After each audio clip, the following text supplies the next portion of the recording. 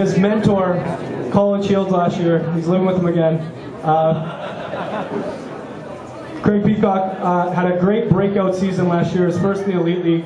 Uh, he'll tell you how many goals because I should know, and Doug knows because he's more of a hockey nerd than I am. But uh, a great year for the Giants last year. Uh, Craig's on a two-year contract now, starting this season, so you guys can applaud that. And we're definitely excited to have him back. Um, he scored one of the biggest goals in the organization's history when he scored in the shootout last year in the semifinals of the uh, of the playoffs. Um, if we hadn't won the playoffs, I would be pretty mad at Thornton right now for not putting him in the final game, but we won, so he's okay with that. But Craig, talk about last season. What was it like coming from Peterborough to coming into the Odyssey, playing in front of 4,000 people, and then obviously winning the championship? Um, it was a completely different experience. I mean, Peterborough is only a small town club, and then to come here and play in front of that many people every year, come to an organisation that's run so well.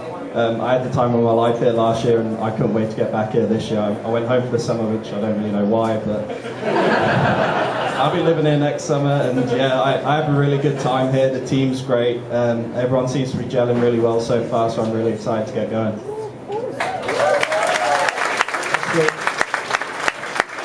And Jeff, any of you guys that watched the game on Wednesday night, you, you saw Jeff, and I'm excited about Jeff. As, as a former defenseman, I, I always watch the D first, and usually my favorites are, are defensemen.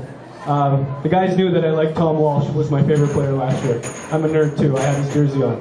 Um, but uh, Jeff Mason, I'm already excited about him. I know he can skate really well. He'll, he'll definitely be uh, contributing on the power play. Um, and Jeff, you played you played in Europe, you played in North America, uh, and you're a Belfast Giant now. What what are you most excited about about Belfast, and, and, how do you feel like you're adjusting to the team so far? Uh, I'm just excited to be here. Um, I, I think the city's great. Um, you know, obviously playing other places in Europe, this is the most like home. Uh, and I'm just really excited for the year. I think the team's really good. I played against a lot of these guys back home, and uh, I think we should do really, really well.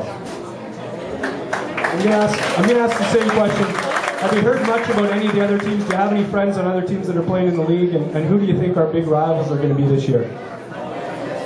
Uh, I, I do have some uh, some other friends playing in the league, and uh, you know, uh, from what I've heard, Coventry is always a, a good team. Nottingham's usually at the tops. Sheffield. Um, so I think a lot of those teams, uh, you know, are going to be tough. But but I knowing other players in the league, and and, and I think we we should do very well. All right, thanks a lot, Jeff. Thanks, Greg. Give it up for.